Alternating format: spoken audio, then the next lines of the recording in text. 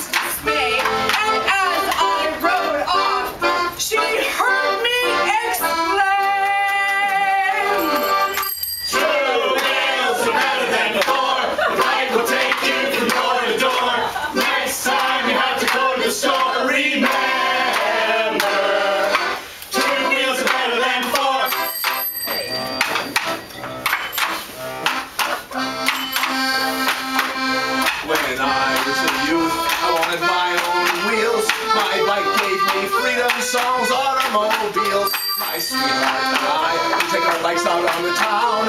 We'd lock them together when we weren't around. Our bikes would spoon in the pale moonlight. Then the worst thing happened one ill-fated night. We came out of the cafe and found our bikes had been stolen. Bikes are so great that even thieves know that.